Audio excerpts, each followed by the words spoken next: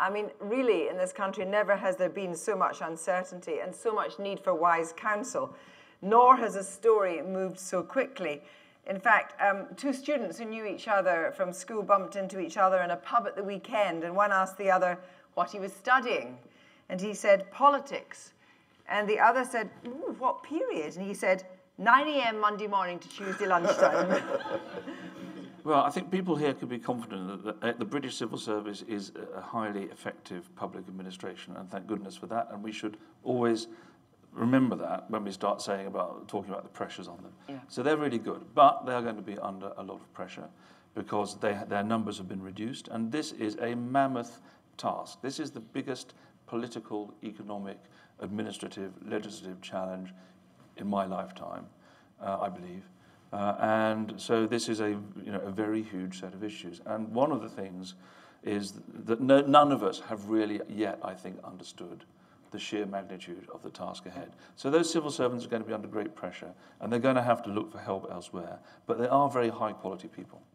This referendum has thrown up two major sources of constitutional confusion, chaos, if you like. One is the conflict between the referendum and Parliament, the yep. Westminster Parliament, and the other is the conflict between the different parts. So it's Scotland, Northern Ireland, and indeed Gibraltar. Yep. These three places who voted and London. And London. yes. But nonetheless, London, I think it's still more difficult to imagine. But Scotland and Northern Ireland, in their own ways, and Gibraltar and its very specific problems, um, have a real issue. Now, could they block the process? Could they, in some way, undermine the process of essentially an English national nationalist move? To leave the European Interestingly, Union. though, because I don't think, I mean, you're saying she's canny, and I don't think Nicola Sturgeon would ever do anything that would impact on what the expressed will of the people of England. I mean, she would be very reluctant to do that, mm. I would imagine. Mm. No, so, in principle, that is true, but what is to stop us agreeing, if we want to, that, okay, we'd finish the Article 50 negotiation, mm. but we, mm. formally the UK leaves, but we continue certain aspects, you know, of, transitional, our, transitional EEA phase deal? of relation of, of our position in the, e, in the WTO, for example. I mean, I don't know, um, but I don't think we should necessarily assume that this is all going to be really neat I think business should do a hell of a lot more than they did during the referendum campaign. There was a very mixed response from business in terms of actually spelling out the consequences of what was going to happen. We're starting to hear it more now. But if business doesn't get out there, for example, take the issue of free movement, of, of free movement and, and, and migration and EU workers, it is absolutely essential that business makes it more than clear what the disadvantages are going to be of stopping free movement of labour and where the crunch points are going to come, all of that.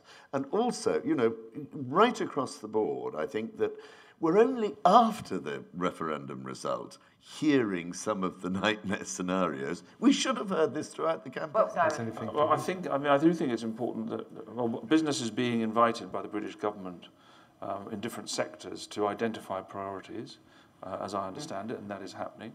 And um, certainly, you know, I would be encouraging businesses to take a very clear analytical view of their key interests uh, in any negotiation and to make clear that those are registered. Now, there's been not much point until tomorrow in registering them with the politicians because you didn't know who was going to be in office. But you can register them with the regulators, the civil servants who are going to be in the negotiations, the permanent sort of system that's going to be leading that negotiation.